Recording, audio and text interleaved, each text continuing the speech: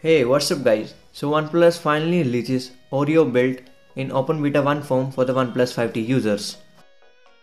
So let's take a quick look what they added in Open Beta 1 for the OnePlus 5T. Basically Android upgrade from Nougat to Oreo and there are picture-in-picture -picture mode, autofill, smart selection that are basic Android Oreo features that are also released for the OnePlus 5 one month back.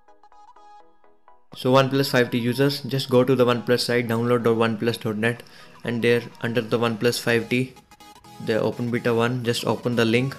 And after download the ROM. And let me clear one thing. No root required for this. This is official update by OnePlus in open beta form.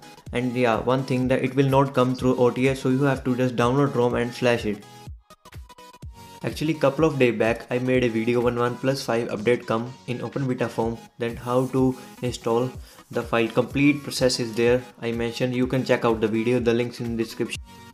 Just check that video guys.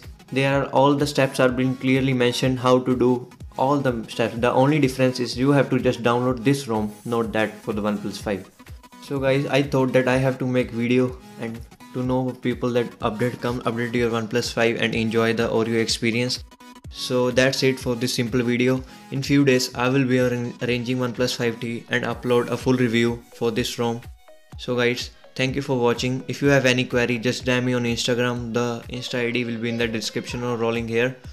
I will see you in the next one. For more videos like this, just hit the subscribe button, like this video, Till then peace.